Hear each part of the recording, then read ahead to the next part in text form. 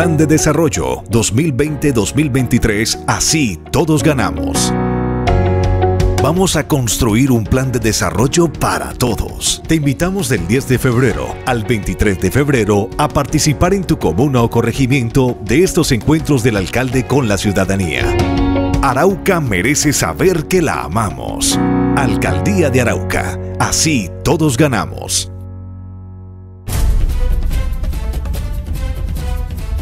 Instituto Colombiano Agropecuario ICA espera la respuesta de los ganaderos del departamento de Arauca para conformar las mesas de trabajo. Por el momento, la resolución emitida por el ICA no se derogará.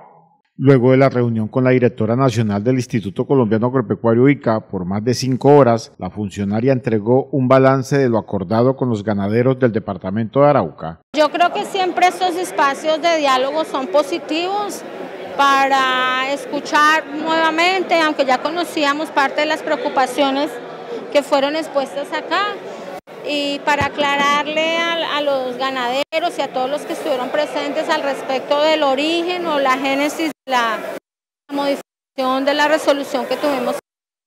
Como lo mencioné acá, digamos, nos comprometimos a hacer unas mesas de trabajo, pero no me quedó claro en realidad si los ganaderos las quieren o no las quieren porque al final hubo una intervención donde dijeron que no querían las mesas de trabajo, pero de todas maneras yo voy a oficiar por escrito al gobernador y a las autoridades sobre el, sobre el tema de realizar las mesas de trabajo para evaluar y, revisar con los ganaderos cuáles podrían ser los procedimientos para aplicación de la resolución. Según la directora nacional del ICA, Deyanira Barrera León, la modificación de las medidas es por la recuperación del estatus sanitario. La modificación de las medidas tiene que ver con la recuperación del estatus de Colombia como libre fiebre de fiebre, de fiebre aftosa, porque la zona de alta vigilancia que estaba en Arauca y Bichada, hoy llamada zona de protección por la OIE, pues es una zona que no tiene condición reconocida como libre de fiebre aftosa con vacunación y por eso debe asumirse los,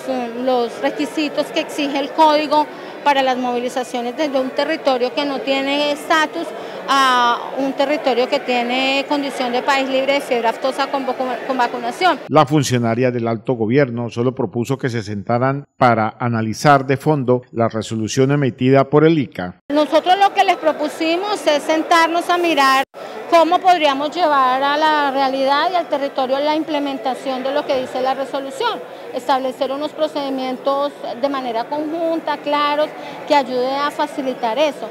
Eh, ofrecimos también que los, las pruebas que hay que hacer para la movilización del ganado que se origine de esta zona de protección, antes llamada zona de alta vigilancia, vamos a asumir nosotros el costo de, la, de ese muestreo, porque como les mencioné, nosotros tenemos que mandar esas evidencias después cuando pedamos, cuando la OIE cada año le pide a los países que recertifique su condición, hay que suministrar una información y parte de la información que vamos a tener que suministrar es eso, esos, mm, esas pruebas como soporte a las movilizaciones que se originan de este territorio. La falta de personal en los ICAs regionales siempre se presentan a comienzo de todos los años. Pues ese es que siempre se genera a comienzo de año, en enero, porque hay el tema de la apertura nueva del presupuesto y de toda la disponibilidad para contratar el personal.